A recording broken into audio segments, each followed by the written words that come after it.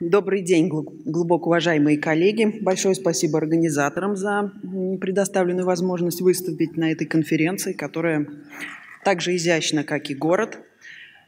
А, ну, какой подтип рака молочной железы не возьми, он оказывается гетерогенным, и чем глубже мы копаем, тем гетерогеннее он э, нам проявляется. Но все-таки тройной негативный рак молочной железы, он, в общем-то, является самым гетерогенным подтипом из всех подтипов, включает множество нюансов, множество подтипов подтипов э, с различным биологическим поведением, с различной чувствительностью к лекарственным препаратам, Осознавать-то мы это осознаем, но пока не очень понятно, что с этим делать в нашей повседневной клинической практике. Поэтому мы в какой-то степени вынуждены скользить по поверхности. А, Чарльз Перу в 2016 году как-то попытался упорядочить вот эту классификацию, сложную классификацию тройного негативного рака молочной железы, разделив э, на два подтипа, крупных, базальный и люминальный с экспрессией андрогеновых рецепторов. И дальше уже э, все это упорядочил э, приближенно к нашей клинической практике. Да? Разделил на подтипы в зависимости от чувствительности к химиотерапии и к другим препаратам, в том числе и к таргетным препаратам. А вот новая классификация, предложенная в этом году группой французских ученых.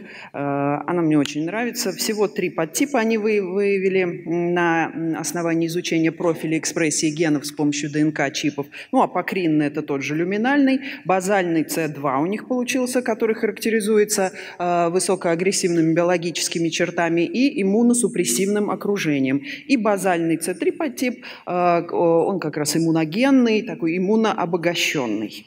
А, мне кажется, вот такая классификация, она а, очень хорошо а, в будущем может инсталлироваться в клиническую практику. И, кстати, вот с этой классификацией увязываются наши уже накопленные знания о том, что опухоли, инфильтрирующие лимфоциты, тилсы, так называемые, да, при тройном негативном раке молочной железы являются сильным прогностическим фактором для безрецидивной и общей выживаемости, независимо от того, проводится неоадювантная химиотерапия, адювантная химиотерапия. Высокое содержание ТИЛС э, коррелирует с э, большей частотой патоморфологических ответов. Это было показано в объединенном анализе шести немецких исследований по неоадювантной химиотерапии. При высоком содержании патоморфоз отмечался в 50% наблюдений да, против 30 э, 30% при более низком содержании ТИЛС в опухоли. И это э, транслировалось в увеличении безрецидивной и общей выживаемости. И кроме того, есть работы, которые показывают, что увеличение уровня ТИЛС после неоадювантной химиотерапии в резидуальной опухоли э, улучшает прогноз, коррелирует с увеличением безрецидивной выживаемости. А, вернемся к неоадювантной химиотерапии. Ну, Мона Александровна блестяще про нее рассказала. А, конкретно при тройном негативном раке молочной железы а, полный патоморфоз, то есть отсутствие инвазивного компонента в первичной опухоли и в лимфатических узлах после проведенной неоадювантной химиотерапии является сильным прогностическим фактором, ведет к увеличению бессобытийной выживаемости и коррелирует с общей общей выживаемостью, как это было показано в объединенном анализе 12 исследований по неоадювантной химиотерапии, который проведен был Патрицией Картазар. Поэтому основная цель, то, для чего мы проводим неоадювантную химиотерапию при тройном негативном раке молочной железы, это добиться полного патоморфоза. Каким способом? А, ну, естественно, проводя химиотерапию. Какой э, режим химиотерапии на сегодняшний момент считается стандартным? Ну, естественно, э, все неоадювантные режимы, они пришли из адювантно к нам. И вот э, такое крупное исследование ЭКОК 1199, по, которое изучало различные режимы токсанов после четырех курсов АЦ в адюванте. Э, на большой очень популяции пациенток, около 5000 больных включено. И что было показано? То, что э, наиболее эффективным режимом в плане увеличения безрецидивной э, и общей выживаемости был еженедельный паклитоксел дозе 80 мг на метр квадратный 12 введений или стандартный доцитоксел Ой, для всей популяции больных. При проведении подгруппового анализа для тройного негативного рака молочной железы было продемонстрировано явное э, и безоговорочное преимущество именно режима еженедельного паклитоксела над другими э, режимами. Было показано увеличение как безрецидивной, так и общей выживаемости. Поэтому оптимальным э, стандартным режимом э, как адювантной, так и неоадювантной химиотерапии тройного негативного рака молочной железы является режим режим 4АЦ и 12 еженедельных введений паклитоксела. Какова частота полных патоморфологических регрессий на фоне вот этой стандартной антрациклин-токсан содержащей химиотерапии? А, возвращаясь опять к объединенному анализу 12 исследований а, по неодевантной химиотерапии, частота а, патоморфоза для тройного негативного рака молочной железы составляет 33,6%. Ну, немного, казалось бы, поскольку получается, что две трети больных сразу попадают э, в группу плохого прогноза. Можно ли этот показатель как-то увеличить, улучшить? Э, может быть, за счет интенсификации режимов химиотерапии или за счет добавления каких-то других препаратов? Увеличивают ли частоту PCR дозоуплотненные, так называемые dose-dense режимы? На самом деле четкого ответа на этот вопрос нет. Вот было шесть исследований, которые попытались ответить на него, но, как вы видите, в них применялись старые достаточно режимы химиотерапии. И, э, в общем-то, э, таких э, чистых групп сравнения, где один режим проводился в стандартном, стандартными временными интервалами, другой такой же, с в дозоуплотненном режиме. Таких исследований вот есть э, два. Э, а в одном было продемонстрировано увеличение частоты патоморфозов, в другом нет. А в остальных сравнивались различные дозовые режимы при различных, естественно, подтипах рака молочной железы. А вот таких одинаковых режимов, вот их, э, в общем-то, набрать сложно. Но зато дозоуплотненные режимы активно изучались в адъюванте и из отдельных исследований, и из их объединенных анализов известно, что дозуплотненная химиотерапия ведет к снижению риска смерти при тройном негативном раке молочной железы на 20%, а у пациенток молодых, находящихся в пременопаузе, снижает относительный риск смерти на 35%. И э, известный крупный метаанализ э, группы по изучению раннего рака молочной железы, который включил 26 рандомизированных исследований как нео, так и адювантной химиотерапии, продемонстрировал то, что дозоуплотненные режимы снижают риск рецидива э, рака молочной железы на 16%, снижают риск смерти на 14%, без увеличения риска смерти от каких-либо других причин, независимо от рецепторного статуса, то есть как у больных с позитивными, так и отрицательными рецепторами. Так что теоретически при тройном негативном э, раке молочной железы в качестве неодеванта мы можем ну, скорее всего, должны применять дозоуплотненные режимы. Дальше э, переходим к тому, к вопросу, а поможет ли нам э, увеличить полный патоморфоз добавление каких-то других препаратов, в частности, добавление препаратов платины. Три исследования отвечали на этот вопрос. Одно из них 40603 к стандартной химиотерапии паклитоксел еженедельный и дозоуплотненный 4 курса АЦ добавлялся карбоплатин, Э, в режиме один раз в три недели. Э, кроме того, были рукава еще с бевацизумабом, но, э, кстати, добавление бевацизумаба в этом исследовании ничего не дало. А что показало добавление карбоплатина?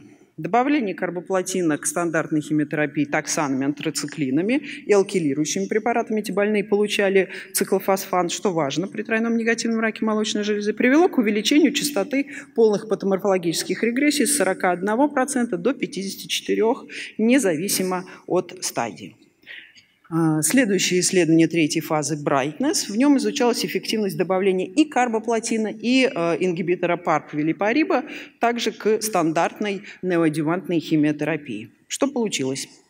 Получилось, что добавление велипариба и карбоплатина к химиотерапии антрациклиново-токсановой достоверно увеличивает частоту э, патоморфоза с 31% до 53%. Но вот этот выигрыш в патоморфозе, он целиком и полностью обусловлен именно карбоплатином, потому что разница между частотой PCR в группе карбоплатин токсан АЦ и карбоплатин велипариб токсан АЦ, она недостоверна и равняется примерно 53-57%. Причем это независимо от наличия или отсутствия мутации ген БРК. И еще одно исследование GeparSixto, вторая фаза. Э, нестандартную достаточно химиотерапию получали пациентки, одномоментное назначение липосомального доксрубицина еженедельного, еженедельного паклитоксела и еженедельного карбоплатина. К тому же эти пациентки получали еще и бевоцизумаб. Но, конечно, исследование подвергалось критике, но оно показало тоже, что и предыдущие исследования, то, что добавление карбоплатина к химиотерапии таксанами, антрациклинами также увеличивает PCR э, во всей группе. Опять вот с этих стандартных цифр 30 чем-то, 37% до 53%. Э, что касается, это э, касается пациентов без мутаций, а что касается пациенток с наличием герминальной берсии мутации, да, увеличение патоморфоза было на 11% абсолютная дельта составила, но оно было недостоверно. Возможно, это связано с тем, что было малое число больных, возможно, связано с чем-то другим. И э, в исследовании Гепарсикс это был очень интересный поданализ. Ну, мы все хорошо знаем, что э, при наличии мутации э, опухоль чувствительна к ДНК повреждающим агентам. Так вот, при спорадическом тройном негативном раке молочной железы есть такое БРК-подобное состояние, связанное с дефицитом гомологичной рекомбинации ДНК, HRD, тоже нарушение процессов репарации. И это обусловливает чувствительность опухоли к, тоже к ДНК повреждающим агентам. Специальные есть тесты, которые э, способны это выявить. Они пока не валидны для клинического применения, но э, тестируются в исследованиях. Так вот, в Гепарсекста в исследовании оказалось, что вот этот положительный HRD-статус выявлен почти в 70%, у 70% э, пациенток.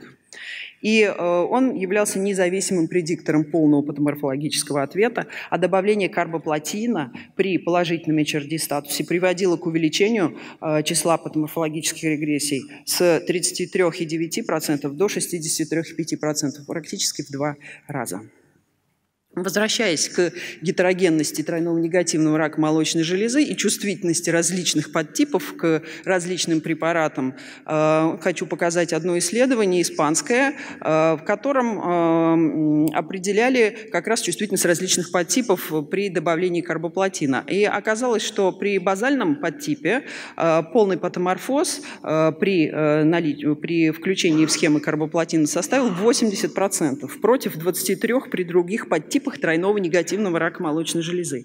А что э, касается люминального ЛАР подтипа, он оказался самым химиорезистентным и самым, самыми низкими цифрами патоморфоза – 14%. В принципе, это сопоставимо с данными по патоморфозу при люминальных гормонозависимых подтипах все-таки э, увеличивает ли добавление препаратов платины к, к стандартной неодеватной химиотерапии частоту полных патоморфологических ответов? Да, в принципе, увеличивает с, э, с цифр где-то с 30-40% э, до, позволяет этой, перевалить этой цифре за 50%. Да? Абсолютная разница где-то составляет от 13 до 26%. Особенно актуально это получается при положительном HRD-статусе и при базальном подтипе. А, транслируется ли это в увеличение безрецидивной и общей выживаемости? Но ну, только в единственном исследовании была получена достоверная разница в э, трехлетней безрецидивной выживаемости. Вот эта дельта в 16% выигрыша э, в патоморфозе э, транслировалась в дельту в 10% в трехлетней выживаемости. Различия достоверны были, но различия в общей выживаемости получились недостоверными. Результаты исследования Брайтнесса ожидаются. В другом исследовании второй фазы выигрыша в безрецидивной выживаемости получено не было, но нужно иметь в виду, что это два исследования второй фазы, и они не имели просто достаточной мощности для оценки выживаемости. Вот такой еще один вопрос. Нужны ли препараты платины при наличии герминальной мутации? Вроде бы ответ очевиден. Да, конечно, нужны. Они чувствительны к ДНК-повреждающим агентам. Известны работы, уже не новые, когда полный патоморфоз при монотерапии цисплатином достигал 61%. И плюс вот при БРК-подобном состоянии добавление карбоплатина в два раза повышает частоту патоморфологических ответов. Конечно, их нужно добавлять. Но на самом деле не все так просто. Дело в том, что вообще эти опухоли более чувствительны чувствительны к химиотерапии. И э, на фоне даже стандартной троциклин-токсан, содержащей химиотерапии, э, частота полного патоморфоза достигает тех же 60-57%. И э, то, что я показывала в исследовании Гепарсикста, э, частота полного патоморфоза в группе с карбоплатином, она была выше, но недостоверно выше. И вот на сегодняшний момент ряд экспертов, в общем-то, не поддерживают добавление препаратов платины э, в НЕО, в адъюванте к стандартной антрациклин токсан содержащей химиотерапии, полагая, что ее и так более чем достаточно. Ну, нельзя сказать э, ни слова об иммунотерапии. Она активно исследуется в неоадювантных режимах тройного негативного рака молочной железы. Способна ли она увеличить частоту патоморфоза? Э, отдаленные результаты. Уже прошло несколько исследований. Вот одно из них с пембролизумабом. Но это исследование первой Б-фазы. 60 пациенток, которые разбились на 6 когорт. Э, разные токсаны, паклитоксел, напаклитоксел, разные режимы дозирования их и карбоплатина, разные режимы дозирования. В первую очередь, конечно, исследовалась переносимость, токсичность, не буду на ней останавливаться, но частота патоморфоза составила 60%.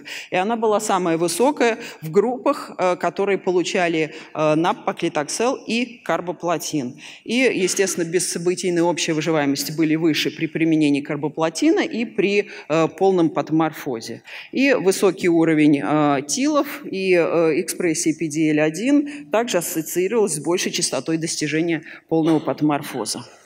Ну и все-таки теперь, э, как применить накопленные знания на практике? Какие пациентки нуждаются в интенсификации э, неоадювантной химиотерапии? С одной стороны, высокий уровень ТИЛов – это э, хороший прогностический фактор, вероятность высокого достижения патоморфоза, да? высокий да, базальный фенотип – это высоко, обусловливает высокую чувствительность к препаратам платины, ЛАР-подтип – низкая чувствительность к химиотерапии, и еще ряд характеристик, которые говорят нам о том, что опухоль будет реагировать на э, платиносодержащие э, препараты. А низкий уровень ТИЛ – худший прогноз, но э, есть работы, которые показывают, да, что увеличение уровня ТИЛ в ходе лечения улучшает этот прогноз у пациента. Кроме того, есть работы, в которых добавление препаратов платины может приводить к повышению, как раз способствует повышению уровня ТИЛ в резидуальной опухоли. Что нам делать? Ну вот, обращаясь опять вот к этой упрощенной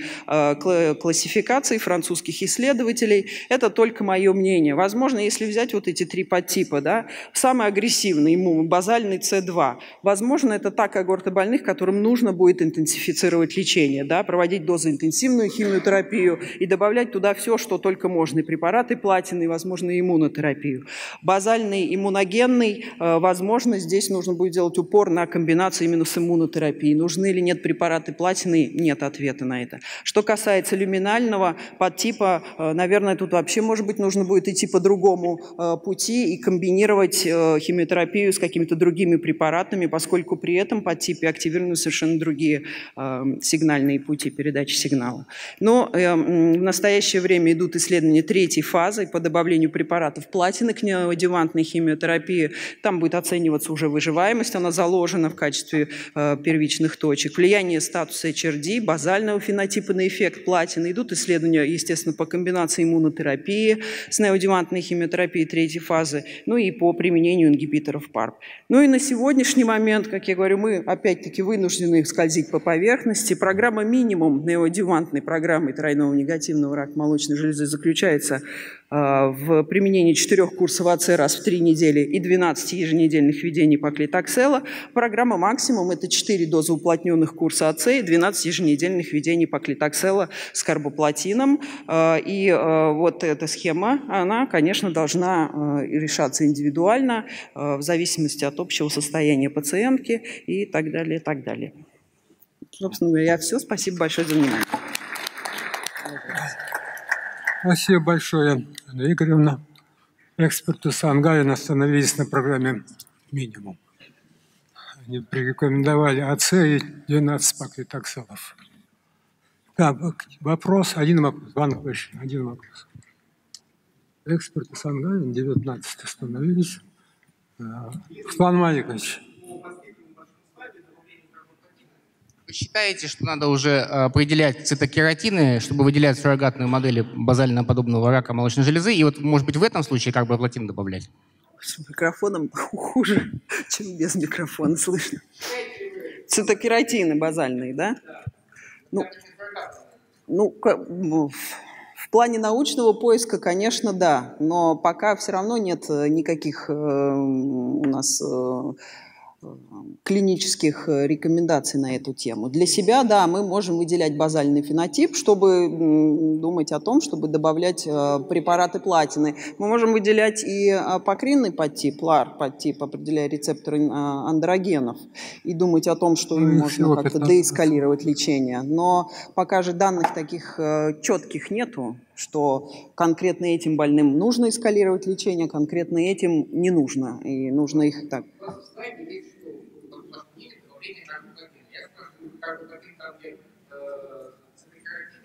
ну, базальный. Ну, как, как вариант, да, конечно. Спасибо.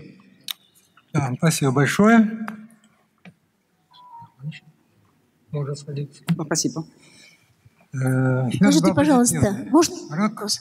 Петр Владимирович Криворотик. Сейчас один вопрос, можно еще? Скажите, пожалуйста, какая тактика по проведению адювантной полихимиотерапии после достижения полного патоморфологического ответа при применении в неоадюванте плотнодозной химиотерапии с паклитокселом при местно распространенном триженегативном раке молочной железы?